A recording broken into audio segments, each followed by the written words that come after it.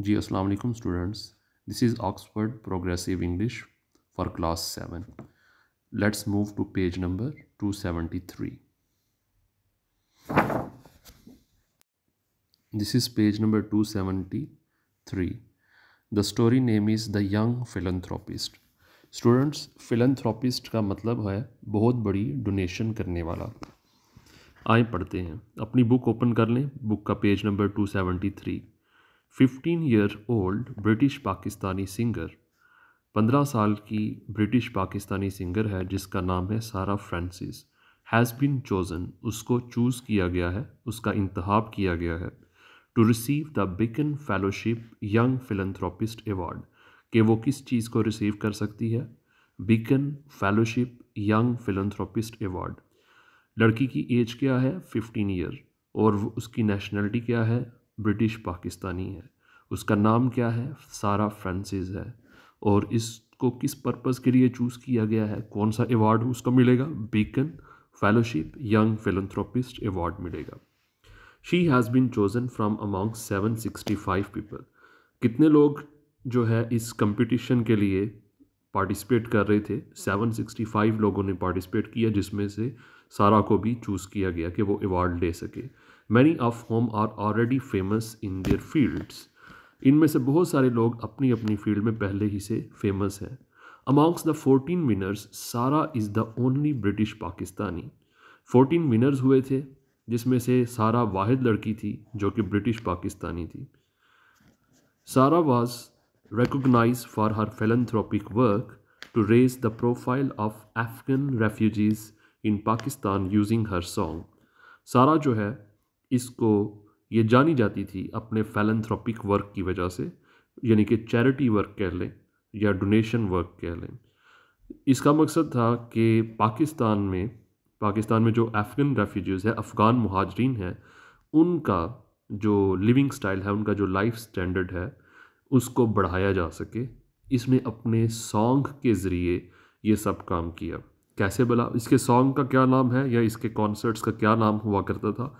Voice of freedom in a number of fund raising concerts इसने बहुत सारे fund raising concerts में जो है अपने सॉन्ग्स वॉइस ऑफ़ फ्रीडम के ज़रिए अफ़गन रेफ्यूजीज़ का मैार ज़िंदगी बुलंद करने के लिए बहुत बड़े पैमाने पर डोनेशन वर्क किया इस मकसद के लिए ये ज़्यादा मशहूर हुई। कैसा वर्क करती थी? फेलंथ्रोपिक वर्क किस पर्पज़ के लिए?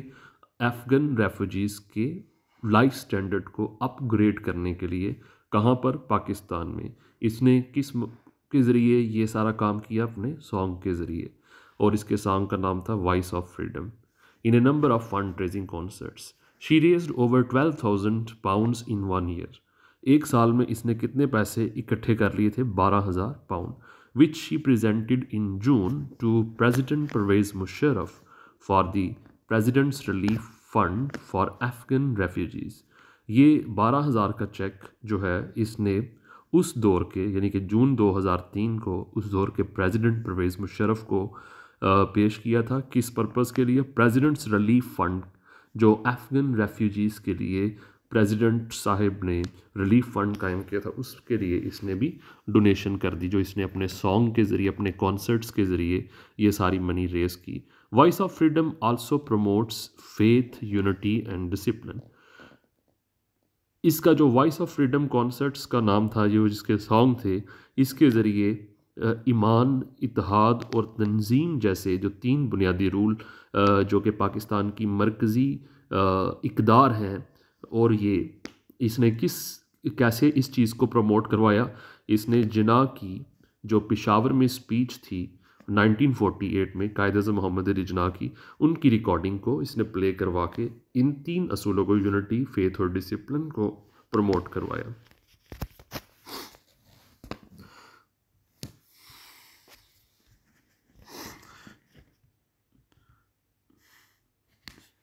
Through this song Sara has been able to educate her army of listeners अपने सॉन्ग के ज़रिए से सारा इस काबिल हो गई थी कि अपने जो लिसनर्स हैं सामीन हैं लिसनर सामीन की जो पूरा उसकी आर्मी है, सबको वह उनको तलीम दिला सके, उनको एजुकेट कर सके, जो कि पाकिस्तान से बाहर बैठ के इसको सुन रहे हैं।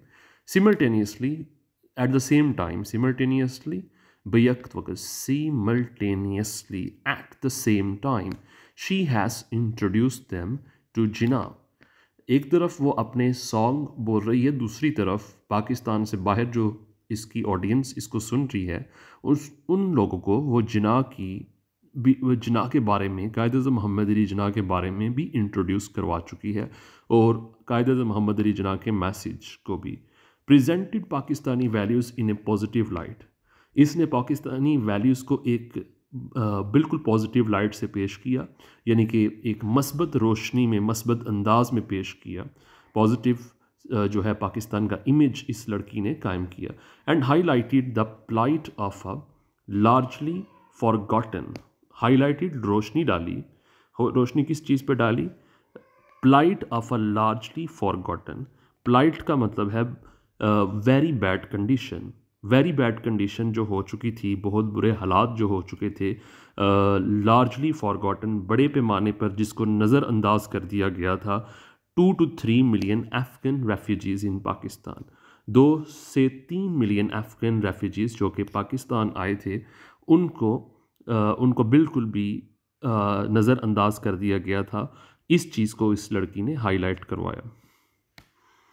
When she, he presents the Young Philanthropist Prize to Sarah in Downing Street in London, Jordan Brown, the British Chancellor of the Exchequer, will be doing more than handing over a medal.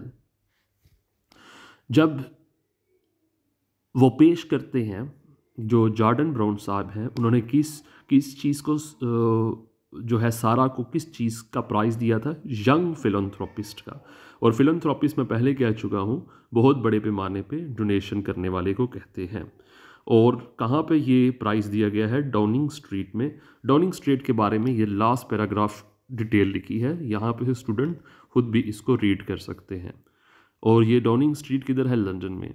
The British chancellor of the exchequer exchequer England में वो इदारा है जहाँ पे finance या आ, समझ लें एक बैंक जैसा इदारा है। वहाँ का ब्रिटिश चांसलर थे ये, Gordon Brown. Will be doing more than handing over a medal इन्होंने ना सिर्फ़ उसको मेडल हैंड ओवर किया, बल्कि इससे बढ़कर भी ये एक बहुत बड़ा अवार्ड था उसके लिए। Sara will be admitted to life time membership of the Beacon fellowship Sara को एडमिशन मिल जाएगा। विल बी एडमिटेड वो एडमिट होगी किस चीज़ के लिए? लाइफ टाइम मेंबरशिप सारी ज़िंदगी की उसको मेंबरशिप मिलेगी किस चीज़ की? बीकन फेलोशिप बीकन फेलोशिप की, उसको मेंबरशिप मिलेगी। ये कैसा ग्रुप है? A group whose advice on the best practice in philanthropy is listen एक ऐसा ग्रुप है जिसकी जिस की जो है, क्या पीछे लाइन पड़ी है आपने? अ ग्रुप हुज एडवाइस एक ऐसा ग्रुप जिसका मशवरा on the best practice in philanthropy is listen एक ऐसा ग्रुप है ये जो है बीकन फेलोशिप एक ग्रुप है, जिसके मशवरे पर अमल करके बेस्ट प्रैक्टिस इन फिलंथ्रॉपी जो है उसके बारे में सुना जाता है कि कैसे आप बहुत बड़े पैमाने पर लोगों की मदद कर सकते हैं डोनेशन करके। ये इदारा जो बीकन फेलोशिप वाला है, ये काम करता है। इसी के मशवरे पे लोगों को पता चलता है कि कैसे दूसरों की मदद करनी है। In other words Pakistan will have uh, a young ambassador on a prestigious and influential committee. दूसरे अल्फाज में यूँ कह लीजिए कि पाकिस्तान के पास एक एक छोटी उम्र की यंग एम्बेसडर है और एक प्रेस्टिजियस का मतलब है रेप्यूटेबल यानी कि मशहूर एंड इन्फ्लुएंशियल कमेटी की एक यंग एम्बेसडर है जो कि आगे से जाके मशवरा देती है दैट एडवाइजेज़ कौन सी सॉरी प्रेस्टिजियस और इन्फ्लुएंशियल कमेटी पाकिस्तान की एडवाइस करती है हाई लेवल गवर्नमेंट बॉडीज़ को दूसरे ममालिक की नॉन गवर्नमेंट ऑर्गेनाइजेशंस को और इवन वर्ल्ड लीडर्स को ये जो है uh, क्या करते हैं एडवाइस पेश करती है। दोबारा लाइन पढ़ें। In other words Pakistan will have a young ambassador दूसरे अल्फाज में पाकिस्तान को एक यंग एम्बेसडर मिल गई। और अ प्रेस्टिजियस प्रेस्टिजियस का मीनिंग मैंने बताया है रेप्यूटेबल यानी कि मशहूर इन्फ्लुएंशियल असर रखने वाली अप्रोच रखने वाली कमेटी असरो रसू रखने वाली इन्फ्लुएंशियल असरो रसू रखने वाली। That advises high level government bodies ये committee high level government bodies यानी कि ऊँचे मैार की सरकारी तंजीमों को मशवरा देती है और गैर सरकारी इदारों को भी मशवरा देती है non government organisations and even world leader यहाँ तक के दुनिया के बाहर के लीडर्स को भी Sara is coming to be recognise as a modern day Pakistani hero with the ability to raise single-handedly the aspirations of an entire generation of youth. Saira is coming to be recognise Saira अब जानी जाने लगी है एक modern day Pakistani hero के तौर पर, जिसके अंदर ये सलाहियत है एबिलिटी है, कि वो इकट्ठा कर सकती है। रेज़ करना, बढ़ाना, इकट्ठा करना, बढ़ाना, इधर मतलब है बढ़ाना इंक्रीज़ करना सिंगल हैंडेडली अपने अकेले हाथ इसने जो है इसके अंदर ये सलाहियत थी कि ये अकेली ही जो है ये बढ़ा सकती है। एस्पायरेशंस को ख्वाहिशात को एस्पायरेशंस डिज़ायर्स या ख्वाहिशात किसकी इंटायर जनरेशन ऑफ़ यूथ सारी जो नौजवान नस्ल है, पूरी की पूरी नौजवान नस्ल की जो है ख्वाहिशात को, उनकी डिज़ायर्स को, उनके जज्बे को बढ़ाने के लिए ये अकेली ही काफ़ी थी। ये जो सैरा है, अकेली ही काफ़ी थी, और ये वाहिद पाकिस्तानी हीरो है। If not all if not by all generation of Pakistanis अगर तो ये सारी जनरेशन्स के जज्बे को ना भी बढ़ा सकी, लेकिन नौजवान कौम के जज्बे को तो ज़रूर बढ़ाएगी। She even makes a point of referring to herself not as a British Asian वो ना सिर्फ़ अपने आप को ब्रिटिश एशियन ही नहीं कहलवाती। The most common name in the U K for those who ancestry is from the क्योंकि U K में रहने वाले जो ऐसे लोग हैं the most common name in the U K U K में रहने वाले लोगों का सबसे ज़्यादा आम नाम तो यही होता है, जिनके इंसेस्ट्री बाप दादा is from the subcontinent वो सब कॉन्टीनेंट यानी कि इंडिया पाकिस्तान की सरजमीन से बिलोंग करते थे। यूके में ऐसे लोगों को ब्रिटिश एशियन कह, कहकर पुकारा जाता था। वो कहती थी कि मुझे ब्रिटिश एशियन ही ना बस, बल्कि कहें, वो कहती ही थी, क्या instead she calls herself a British Pakistani वो कहती थी, ना सिर्फ़ मुझे ब्रिटिश एशियन पुकारो, मुझे बल्कि इसकी बजाय ब्रिटिश पाकिस्तानी कहोगे तो ज़्यादा बेहतर होगा। Proudly displaying her roots for all to see वो बड़े फ़हर के साथ शो करती है अपनी रूट्स को, यानी कि उसका ताल्लुक किस मुल्क से जुड़ा है, वो सबको बताती है कि मेरा ताल्लुक पाकिस्तान से जुड़ा है। Her love for Pakistan is one of Sara's most outstanding qualities Sara की सबसे ज़्यादा जो ज़बरदस्त क्वालिटीज़ हैं, उसमें उसका पाकिस्तान के लिए प्यार है।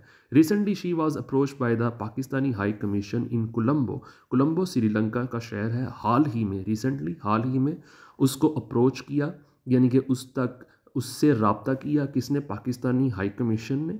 और पाकिस्तानी हाई कमीशन इस, किस मुल्क में था उस टाइम श्रीलंका के शहर कोलंबो में।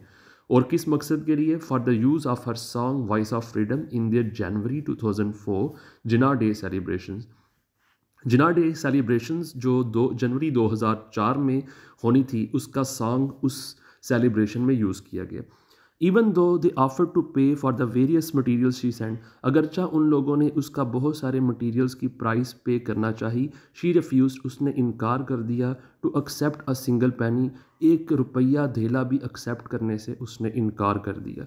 As she consistently done in all her dealings with Pakistan क्योंकि कंसिस्टेंटली लगातार उसने पाकिस्तान के साथ जितनी भी डीलिंग्स की थी uh, उसने वो जो है, एक रुपया भी नहीं दिया डिमॉन्स्ट्रेटिंग इससे ये शो होता है कि उसकी जेनवन कमिटमेंट थी। प्योर उसके जो थी कमिटमेंट थी, उसके वादे थे टू सर्विंग हर नेशन के वो अपनी कौम को खिदमत करेगी एंड इट्स इंटरेस्ट और कौम के मुफाद का भी ख्याल रखेगी। Interest मुफादात as well as the poor and needy around the world साथ ही साथ पूरी दुनिया के गरीब और ज़रूरतमंद लोगों का भी ख्याल रखेगी।